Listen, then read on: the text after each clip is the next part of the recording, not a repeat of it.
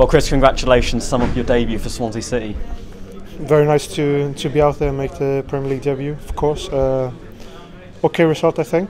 Uh, I think we we could have uh, took uh, the three points as well if we had a bit more luck, but I think it was quite right.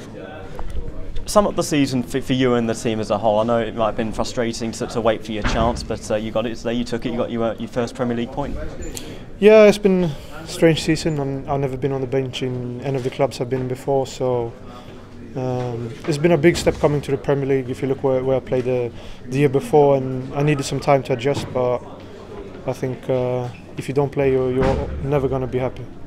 Fair enough. Uh, I know it's been a difficult season for the team, of course. Plenty of highs, plenty of lows too. Um, sum up some of those really from where you've seen it.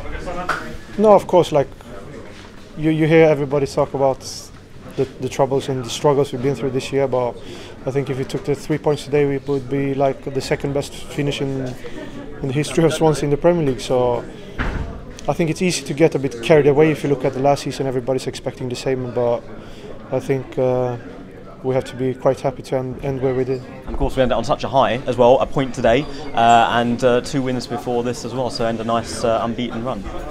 Yeah, of course. It's always nice to go on vacation with, with that feeling. I had something that told us before that normally we finish off the season quite poorly, so I think uh, this was a step in the right direction.